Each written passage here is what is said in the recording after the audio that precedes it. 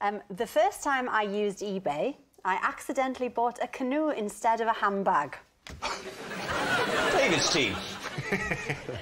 Well, how did that error occur? Well, back in the day, when eBay was pretty new, uh, I thought I'd have a little go. And I quite like vintagey stuff and old clothes, although when they delivered, it's not quite as good because they always smell a bit musty and have an air of dead people. But I like the idea. Um, and Did you get that from eBay? Was that you? Sorry, carry on. Um, so I was scrolling through, as you do, and saw um, a lovely clutch bag. I know I've lost you all already, haven't I? A What's a clutch, clutch bag. bag? A clutch bag is a, is a little bag For that you keeping the clutch. pedal from a car in. you have an accelerator bag and a brake bag. So what are we saying, Alex? You you saw a clutch bag, you were miming putting the clutch bag under your arm to get into it, and then you pressed canoe by accident. They- in fact, in the modern computers, they've taken the canoe button off the keyboard because this kept happening. Okay, you're looking at eBay. What I'm scrolling next? through. Right. It started off at 99p. 99 pence, John. Hmm. Are you in? For a, a, a, for a vintage bag? Yeah. You're in. Anyway. Next thing you know, £14. I'm thinking about pulling out. Ah. Yeah. Because that's quite a lot for a vintage bag. But anyway, on it went. Yeah. £32. And you're still bidding. You still in, John? Uh, no, I wasn't even in when it was 99.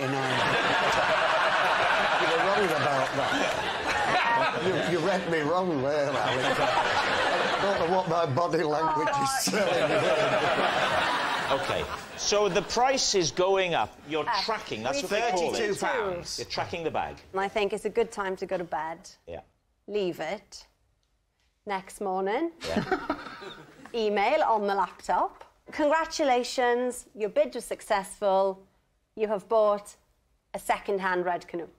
It's quite a jump, isn't it? Yeah. Do You think that's a terrible story? There's some fella yeah.